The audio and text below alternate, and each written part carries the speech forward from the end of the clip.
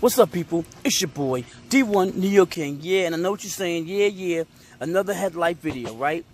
Wrong. This is officially the headlight video. Because these, these headlights right here, this car belongs to my neighbor.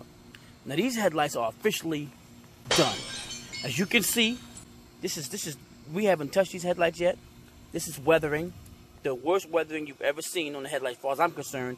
And they will not pass inspection like this. So what we're gonna do later on, we're gonna come out here and hit these headlights off with, with, with the rejuvenate the whole the whole joint, the whole shebang. But I wanted to get you let you see what really bad headlights look like before they even been touched with sandpaper or anything. Nothing's been touched on these headlights. Nothing. This is it. So once we clean this up, you're gonna see brand spanking new headlights. All using the rejuvenate system. That's not even made for cars, but let me tell you, man, things work. Certain things work, man. You gotta try things out. Rejuvenate, gonna hook these up. D1, New York King. Headlight repair. Time. What, part, part four? I'm out. Alright, people. The process has begun. As I told you earlier, these headlights was beat from the from the jump. We didn't do anything to them, but now we're working on it, trying to get this uh this haze off. There's a lot, and there is a lot of residual haze and, and, and enamel. What do you call that? Not enamel, paint or I don't know what you call it. Whatever you call it, the, the coating on the uh, lenses prior. Build up. Yeah, it's on there. Scale, scale, scale. So she's trying to just break that down now. And I'm using just a regular medium emery board for nails.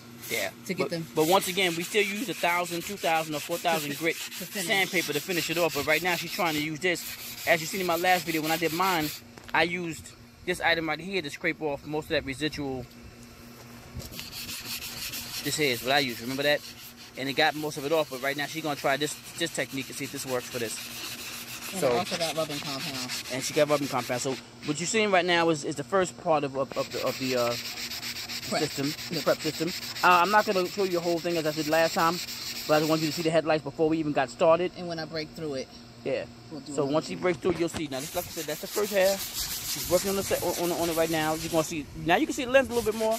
You couldn't see it before come this angle, maybe you can see. You, you, can see it, you can see it. But it's still a lot of work to be done, so I'll hit you back after we got the majority of the work done. But I wanted to show you beginning, beginning stages of how to get how you keep your lenses clean. Now you guys, as I said, can use a thousand grit to start it out with. She's using the emery board because that's what she got available, and you can hit it off with that. If and the scale is too heavy for a thousand grit. Okay, so that's too heavy the scale for a thousand, yes, a thousand is fine. Yeah. So you need something to break that up. I got you. Or with a thousand, you'll be falling forever. Well, I did a thousand and it worked for me, but I, I mean, yours wasn't this heavy. Mine wasn't this heavy. This is very heavy. It's a very heavy, very heavy haze on this one. So you may want to go with a higher grit. All right, do one New King. I'll be back with, with the partial finished product. This this is what it looks like after intense sandpapering. Because I mean, these head these headlights were really really bad. So if you are doing a DIY yourself, you're gonna put a lot of time and energy into doing these, especially if your head your head um, lights look as bad as these did. And we still see in the corner of this piece that's not done. So it's not a quick fix at all. It takes a little time, elbow grease, a lot of elbow grease, and uh, and we're still not done yet. But so far so good. I think if we were to, excuse me, guys, my voice is going out again. Coat these up, they would look awesome. But you know, we're going to keep on trying to clean them up a little bit without taking too much lens off, okay? So, just let you know, this is not an easy job. It's not a one, two, three job. It's a time-consuming job. On, on, on, on, a really bad lens. On, on a normal lens, with light haze, you can get away with the 1,000 grit, 2,000 grit. With this lens, no, you have to go down to the uh, 80 grit and, and, and, and, up, 80 and up. Just let you know. All right? And yeah, then you gotta smooth it out. So, D1 New York King let you know the headlight uh, restoration restoration process is still going. See you in the next video. All right, y'all. As you can see, she's about to hit this up with some rejuvenate on, on, this one. The other lens has a lot of work to be done. I have a lot more uh, enamel to scrape off of that lens. There's a lot on it. She's gonna hit this up with the rejuvenate and let's see what's up.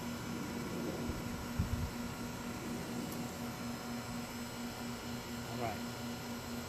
As I said, it's a lot better than what it was. This these lenses, this lens on this car has been sitting for a while. So compared to what it looked like before, this lens looks beautiful. Now the inside of the lens is, is, is something totally different. I don't know if we can do anything about that. But uh, And that's just the first coat. Yeah. That's the first coat. You gotta do at least three coats. It's looking good for believe me when I tell you it's looking ten times better than what it was, guys. Three coats go on this, alright? 51 year okay. The first coat of rejuvenate on it, guys. Now, like I said to you before, if your headlights are super duper duper duper duper messed up, you're gonna have to put a lot of work into your headlights to get them to pass inspection. So, so far, these headlights look well. But she's not done. She has put another couple of coats on them. But from where they came from, coming from where they came from, that rejuvenate makes your headlights look great. I mean, and it costs you a couple of dollars in sandpaper and some rejuvenate. Seriously. And you can you can pass inspection and, and, and drive fine without buying another pair of headlights at least for another year.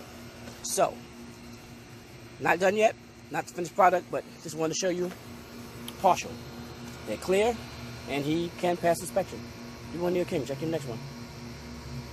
This is the finished product. Headlights look great. As I said, if you've seen the first the first pictures I uh, video I have this headlights, they were really, really, really bad. But now, these headlights look awesome. So you can you can repair your own headlights, guys. it takes a little time, little little little work, little little elbow grease, a, a lot of elbow grease. Kid you not, and uh, you can make your headlights look really good. Not not brand new, but but darn close to it. Especially if they were really really bad like these were.